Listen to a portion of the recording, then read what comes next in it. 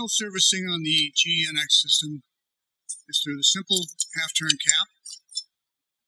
release it by flipping it up and then pulling it out.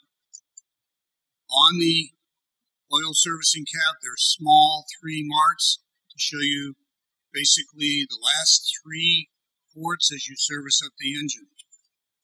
Note that there is a seal underneath the oil cap, the seal right here. If the seal is damaged, you need to replace the seal. Also look for any damage to the metal around the seal. In some cases, it has been possible to install the cap and actually capture the lanyard underneath. Such as this. And then when you clamp down on it, you damage the cap, you damage the lanyard. So be aware of the lanyard, be aware of the seal around the cap. Also, you know that if you see red at any time on this latch, it's not latched. Proper latching, down, turned, and all you see is yellow and lanyard sticking out. You must wait about five to 10 minutes before you can service the engine oil on the GEnx engine because the engine has some pressure inside on the system that has to be bled off. Once that pressure's bled off, you can lift the cap, turn the lever, and open for servicing. One thing never to do, never alter the tension on this cap. This nut should be fixed to this assembly. If you find it loose, you need to return it to the vendor to get it correctly tensioned.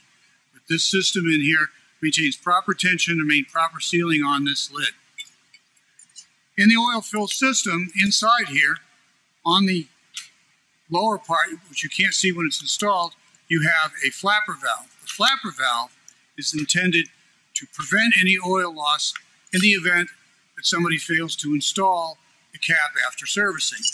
However, the flapper valve also has some limitations. When you first go to service, the engine flapper valve may be securely up against this screen inside here. So the first quart of oil you have to pour in slowly in order to get enough gravity in there to open the flapper valve. Do not put anything in here to defeat the flapper valve. This can lead to FOD. This can lead to damage if it's left in here around the sealing edge. And in the worst case scenario, some people have actually driven this screen out of the assembly into the tank. So do not put anything in here when servicing. Also, when you service this, it is a fill to spill system. You'll notice that there's a scavenge line over here on the other side, pardon me, a drain line over here.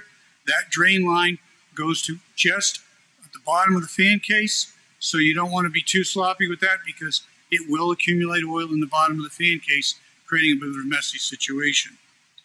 Okay, so do not put anything in here to defeat that system and be careful of pouring in the oil slowly. Once that flapper valve has started to open, once you poured in the oil, the oil will flow better. It's not going to flow super fast, but it is going to flow much better. Several improvements have been made in the valve. The actual mesh screen has been redesigned several times to optimize flow, and the valve itself, the flapper valve inside the tank, has been redesigned to optimize flow. And the lanyard on the outside here, this lanyard has been thickened and shortened so it's less likely to get caught under the cap. So if you have an older lanyard like this, you'll see that it's thin. This one happens to have been damaged from being captured underneath there, the newer lanyards are going to be shorter and thicker than this and a little safer, a little less likely to get caught under the cap. That's the GEnx oil servicing system. Remember, it will take some time for the system to bleed down a little bit of oil, a little bit of pressure so that you can open the cap. Five to 10 minutes should be sufficient. Don't wait more than 20 minutes. Take your time putting in the first quart of oil. And remember, be careful with the lanyard and the latch when you're going back together. Thanks for all you do out there to keep the GEnx flying. We'll see you next time.